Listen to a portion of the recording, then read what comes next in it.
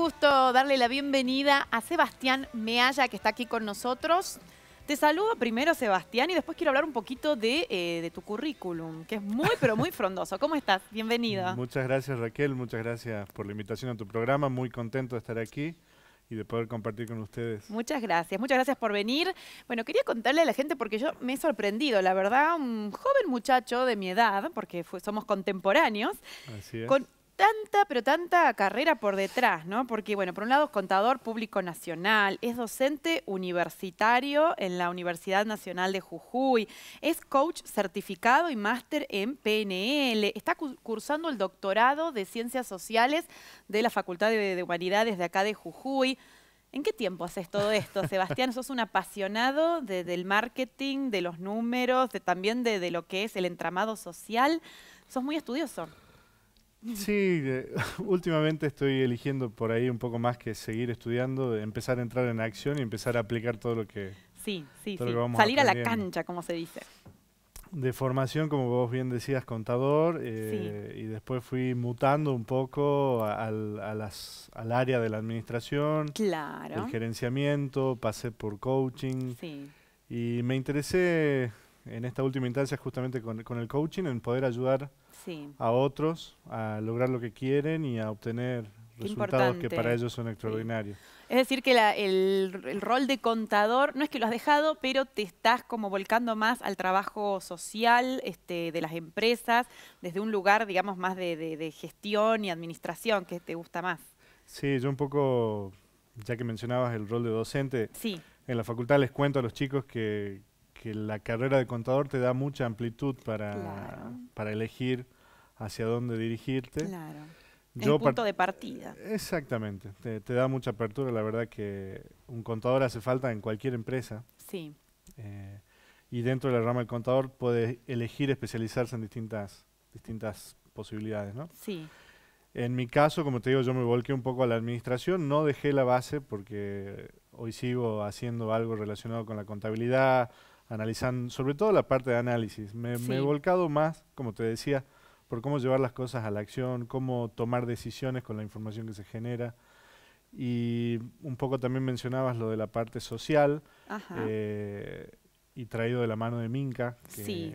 que ha sido para mí todo un descubrimiento, unirme a un grupo de, de empresarios muy motivados y muy comprometidos con la región, sí, eh, con una iniciativa que nació de un centro jujeño de apoyo a emprendedores ajá.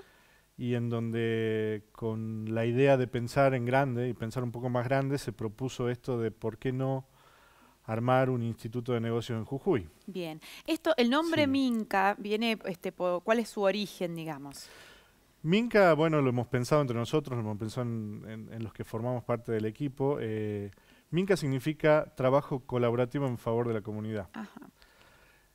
Justamente lo que queremos y lo que buscamos es, un, poco ya lo mencionabas cuando hacías la presentación en el programa, es trabajar en el progreso social de la región usando la educación como herramienta. Bien, Le hemos puesto de nombre Instituto Inclusivo de Negocios también, claro. porque lo que buscamos es que quienes formen parte de Minca y quienes hagan sus cursos eh, sean de todas, ¿cómo decirte? De- de- o sea, por ejemplo, no tomar solamente San Salvador de Jujuy, Sí, sino tomar de todas las regiones de Jujuy. bien. Eh, no tomar grandes empresas solamente, sino tomar grandes empresas pequeñas y medianas, Sí.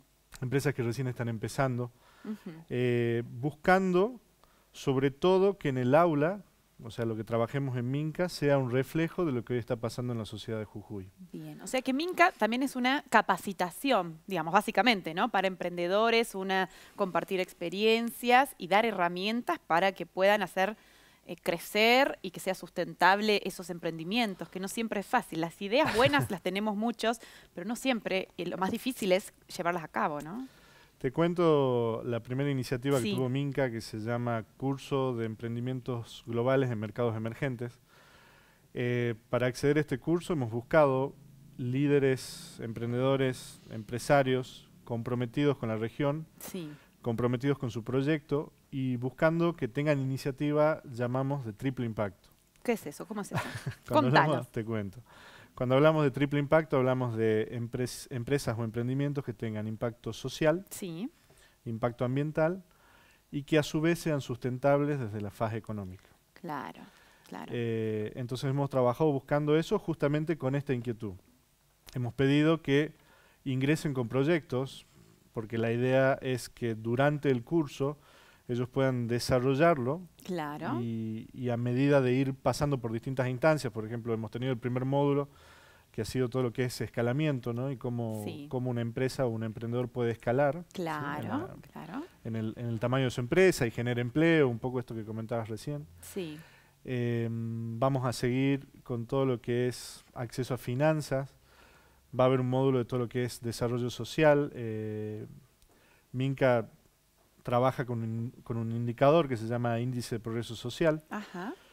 El índice de progreso social lo que busca o, o lo que hemos buscado es justamente tener una medida Sí, sí, previa a iniciar el curso, buscando que las acciones que hagamos con Minca generen impacto. Claro. ¿Cómo Aunque medir sea es- en uno, dos o diez personas, digamos. En uno, diez o, di- O dos o diez personas eh, enfocados en ciertos aspectos específicos, ¿no? Como el acceso a la salud, el acceso a la vivienda, Ajá. las oportunidades que tenemos en la región en cuanto a discriminación, acceso a la justicia, eh, Ujú. acceso a la educación.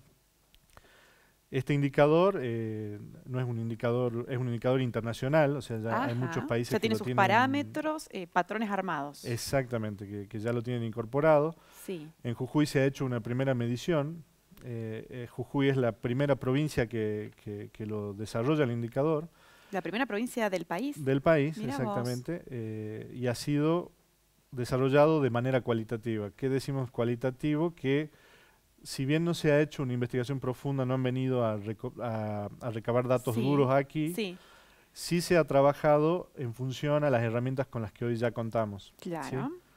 Y te contaba, bueno, para hacerlo breve, este indicador, la idea es tomarlo de base y volver a medir dos años después, una vez que el curso que estamos proponiendo haya, Sí. haya transcurrido. Pero esto se mide en toda la sociedad o en, en cada emprendimiento y su pequeño medio, digamos, este, de, de- de desempeño. Se mide para toda la provincia, o sea, se, se ha buscado el indicador para toda la provincia. O sea, por darte un ejemplo, hoy tenemos uno de los proyectos que forma parte de la escuela, que ya ha pasado por este tipo de capacitaciones, Sí, decirte que no estamos solos en esto, o sea, cuando digo que ya pasó porque hay una institución muy grande que nos apoya, sí, que está en Costa Rica, que es INCAE, sí. que hoy INCAE es el instituto que tiene a nivel Latinoamérica el primer MBA, o sea, el, el MBA más Sí, importante de. Latinoamérica.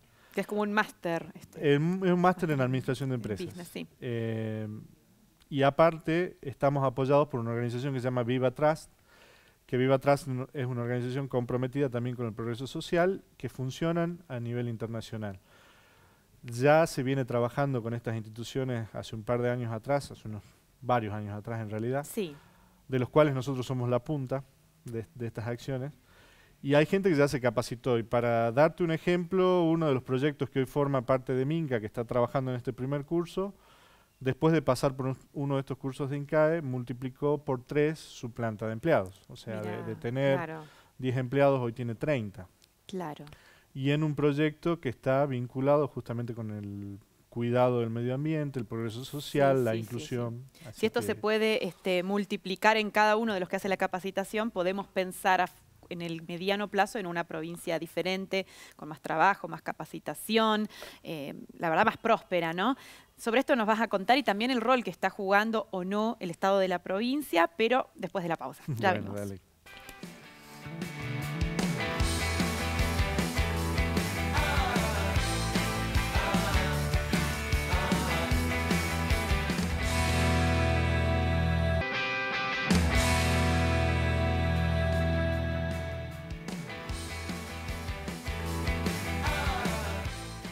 Continuamos con tiempo de liderazgo empresarial. Estamos hablando del empresariado jujeño, de las posibilidades que tenemos como provincia. Nos visita Sebastián Mealla, contador, secretario de la Cámara de Comercio Exterior. Y te quería preguntar, Sebastián, hace un rato hablábamos con Cristian Almazán este, en el pase sobre si es o no un buen momento para invertir. Muchas veces, em, yo no sé por qué, a veces el empresariado tiene como mala fama. Uno dice, uh, el empresario se le está dando, eh, o este nuevo gobierno que, se ocupa de los empresarios y no de los trabajadores, cuando en realidad deberían ser dos entes totalmente ligados, ¿no? Porque una empresa que da trabajo es una empresa que no crece sola, sino que crece con su gente. Eh, yo creo que justamente fortalecer el empresariado es una salida muy importante para una provincia y un país. ¿Crees que es un momento eh, auspicioso para esto o es un momento crítico para emprender? ¿Cómo lo analizan ustedes? Mira, si, si vamos al tema de lo que yo tengo memoria, este, siempre ha sido un momento crítico para emprender. Sí, como que uno nació y estamos en crisis desde que nacimos prácticamente. Vos le preguntás a un empresario y sí, no, ahora no están dadas las condiciones, este no es el momento. Claro. Eh, yo creo que más que pensar en qué, en qué obstáculos pueden darse o, cuál es la situación, hay que empezar a movilizarse y a probar. Si uno realmente tiene una idea y, tiene la fuerza de emprenderla, yo creo que cualquier situación de contexto es favorable, empezando por ahí. En relación al país, eh, yo creo que, que, sí, que hoy la, la política de gobierno está, está a nivel nacional y a nivel provincial está impulsando mucho el tema del desarrollo empresario y emprendedor. Eh, justamente ayer, bueno, fue el lanzamiento de la expo. claro, estuvimos charlando. Y el gobernador hablaba de eso, ¿no? O sea, de la proporción de empleados públicos que hoy existen y la proporción de empleos privados, ¿no? Y, hablamos de que los, em, los empleos públicos hoy superan en un 100% diríamos a los empleos a los empleos privados, o sea, hablamos de 55.000 em, empleados privados y de un poco más de 100.000 empleados públicos. Claro, esto es una realidad que se debería entre planes y más de 100.000 en realidad. Claro, esto podría debería cambiar, ¿no? Debería cambiar, depende de nosotros, porque creo que también una de las cosas que, que tiene que pasar es, es la articulación, justamente, el trabajo conjunto. A Jujuy le falta va, tiene que trabajar en la unión, ¿no? en, cómo, cómo coordinar justamente la parte pública y la parte privada, que eso yo creo que ya hoy se está haciendo, pero poner mucho énfasis en eso. O sea, el Estado solo no puede. Pedirle todo al Estado eh, va a llegar un punto en que va a saturar y va a quebrar. Y por otro lado, el empresario también necesita eh, algunas condiciones mínimas para poder tomar una decisión empresaria, animarse a hacer una inversión, sí, sí. apostar al desarrollo, así que, como te digo, creo que es un trabajo conjunto y mancomunado, ¿no? Que, que yo lo estoy viendo, lo estoy viendo no solo en este gobierno, creo que en el gobierno anterior también se trabajó. Sí pero sobre todo eso, ¿no? Hacer énfasis en, la unión y en cómo construir proyectos en conjunto. Claro, claro. Tendría que ser una ecuación en la que todos ganen, ¿no? Que mientras más crece una empresa, más crece su gente, más sus empleados y así se puede ir este, multiplicando. El derrame va, o sea, el derrame es positivo, si lo querés llamar de alguna manera, ¿no? Eh, vos generando más empresas, generas más empleo al haber más empleo, tenés más gente que, cobra un salario, que tiene un ingreso, eh, tenés más consumo. Exacto. O sea, es como que el, círculo es virtuoso. Claro, o sea que hay que apostar a las pymes. Yo veo que en Jujuy hay, eh, y hay estudios nacionales que dicen que es uno de los países más emprendedores, Argentina. En, Jujuy tenemos muchas empresas, pero no muchas logran sobrepasar por ahí este, los cinco años, muchas quedan en el camino. ¿Cuál será el éxito o el secreto, mejor dicho, para lograr que una empresa pueda superar esa primera etapa de entusiasmo que a veces con las pálidas que en la mayoría de los casos se enfrenta un emprendedor, eh, pueda superarlas y seguir adelante, ¿no? ¿Cuál es el tema? ¿Tiene que haber como un espíritu de fortaleza? ¿Tiene que haber eh, un entusiasmo, una capacitación? ¿Son todo esto junto? Porque no cualquiera, ¿no? Este, tiene ese gen que le llaman el gen emprendedor o cualquiera puede tenerlo? Es todo, es toda una, una, discusión que podríamos estar largo tiempo hablando de si emprendedor se nace o se hace. Ajá. Eh, ¿Qué creo yo? Porque, a ver, pueden ser todas las variables que se te ocurran. Sí, sí. Eh, Pero vos que estás tan empapado y dando charlas, ¿cuál es tu postura, tu postura así ¿Cuál es? personal? ¿Cuál es mi postura personal? Hoy, bueno, eh, hace poco hemos estado con la visita de Elena Espinal, que Elena Espinal es, es una, una coach reconocida a nivel mundial, Ajá.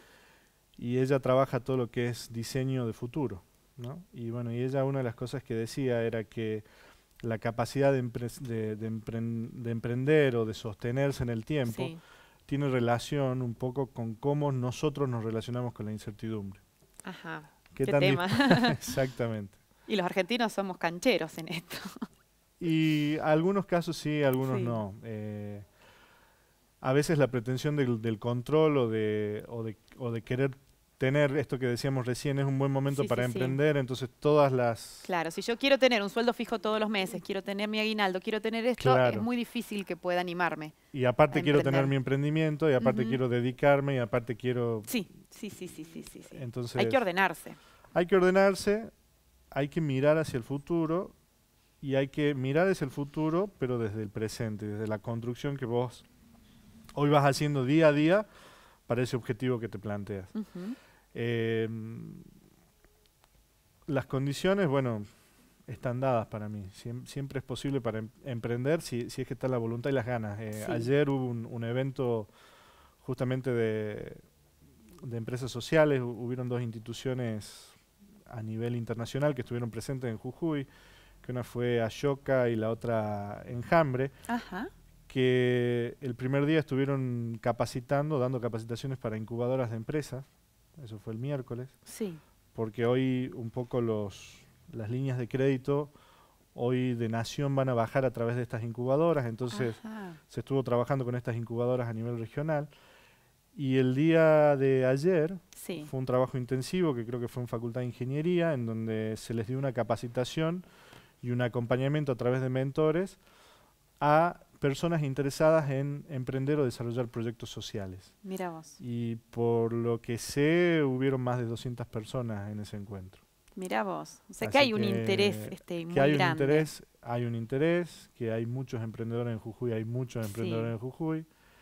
Eh, de mi punto de vista, creo que el trabajo está en la unión. Ujú. Esto un poco que te decía, ¿no? La unión entre empresarios. También, Ajá. la unión entre empresarios. El apoyo mutuo, cuando alguien tiene un evento, uno que le dé una mano al otro. Creo que, que está bueno tender esa así red, es, ¿no? así es. Eh, justamente tender redes, ¿no? Y cómo crecer a través de las redes de contacto. eh, una de las iniciativas que tiene CEJA, el Centro Jujeño de Apoyo Emprendedor, son los Café Emprendedor, por ejemplo. Ajá. Y los Café Emprendedor siempre se termina eh, con una dinámica en lo que se, se trabaja es que crezca la red de contacto. Entonces se hace intercambio entre las mesas. O sea, claro. el contexto es un café. Entonces te levantás vos de tu mesa, vas a otra mesa, Ah, conoces a- a, a otra gente. Sí, sí.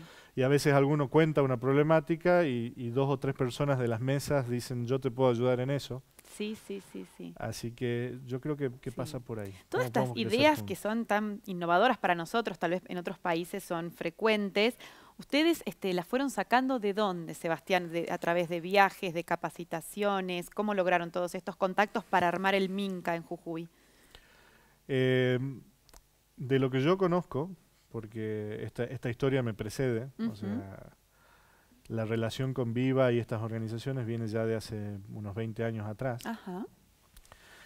en donde partió con, con personas como Jorge Gronda, no sé si, Sí, si habrás claro, escuchado hablar de gran él, y de. Rosario Quispe, Otra también, sí.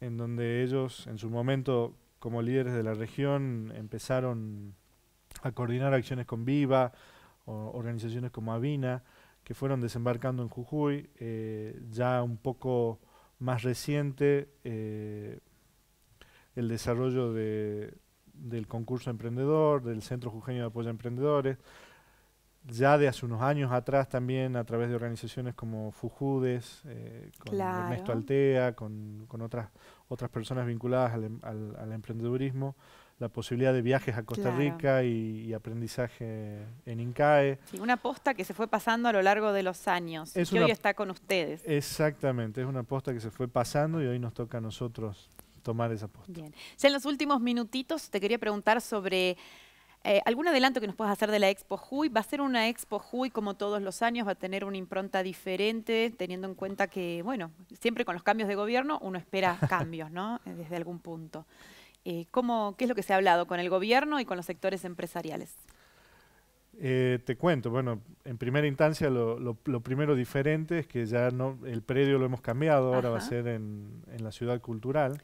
Claro, ya un gran cambio desde el vamos. Así que de entrada ya eso es, es, un gran desafío para, para, la Cámara de Comercio Exterior, que, que, hoy, hoy la verdad contamos con el apoyo de, del gobierno en todo lo que es la adecuación del predio. Eh, no solo con la gente del Ministerio de Producción y la gente del Ministerio de Infraestructura, sino también en la coordinación con el ente autárquico permanente, porque ellos terminan la fiesta de, los estudiantes y entramos, entramos nosotros con la expo prácticamente con una semana de... Sí, como todos los años, va a ser en octubre, a fines de septiembre. Eh, la expo va a ser del 6 al 16 de octubre. Claro. Así que estamos a full. Plena, en plena ejecución, organización en realidad. Así es. Bueno, Sebastián, muchísimas gracias. Nos hemos enterado bastante este, del movimiento empresarial jujeño, de los jóvenes empresarios. Y una última pregunta eh, con relación a la gente que esté con ganas de emprender y quiere un asesoramiento, ¿por dónde empezar? ¿A dónde tiene que ir? ¿Qué le recomendás? Bien, otra de las, de las cosas que está en desarrollo en Jujuy es el ecosistema emprendedor. Eh, hay muchas organizaciones de base que que están trabajando en emprendedurismo. Bueno, uno es lo, que te llamaba, lo que te comentaba el Centro Jujeño de Apoyo a Emprendedores. Sí. Eh, la Universidad de Jujuy también está muy involucrada en, en lo que es el, el, crecimiento y el desarrollo de emprendedores. Palpalá también está desarrollando un centro de emprendedores. Eh, la Universidad Católica de Santiago del Estero. O sea, es como que hoy el tema emprendedores está en boca de todos. Claro.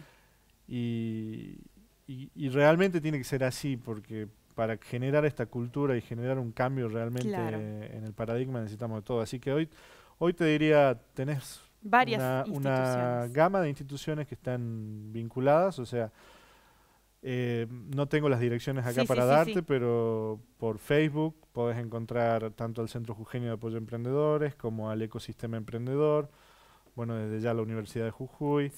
Eh, tenemos también una, una dependencia de la Secretaría PYME de Nación aquí en Jujuy, justamente el titular e-, es, el doctor Gronda. Claro. Este, así que... Van a encontrar esa, esa ayudita para el tienen comienzo. Que, sí, si tienen realmente ganas de emprender, se puede adelante. hacer. Claro que sí. Muchas gracias, buen fin de semana, Sebastián. Nosotros nos vamos y para todos, muchísimas gracias. Aquí estaremos el próximo lunes a partir de las 14. Que tengan un hermoso fin de semana, ojalá que salga el sol y podamos disfrutarlo este, al aire libre. Muchas gracias, hasta el lunes.